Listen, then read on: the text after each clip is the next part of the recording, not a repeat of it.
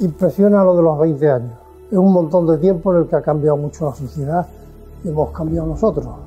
20 años son cuatro lustros.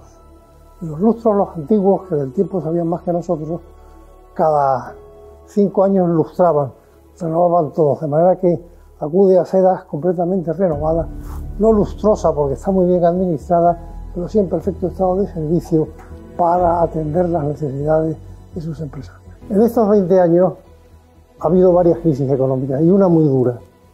Y la hemos superado poniendo fuerzas, manteniendo la eficiencia y dando un buen servicio en calidad y precio a la clientela, que es lo más importante. La distribución alimentaria en España se ha situado como uno de los más eficientes, si no el más eficiente de Europa. Y esto beneficia directamente, una vez más, al consumidor español.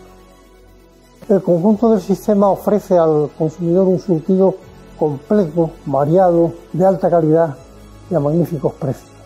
De manera que hemos logrado realmente un modelo muy bueno para el consumidor. Ahora vienen los retos de un futuro que se presenta digital, circular y al que habrá que darle sostenibilidad.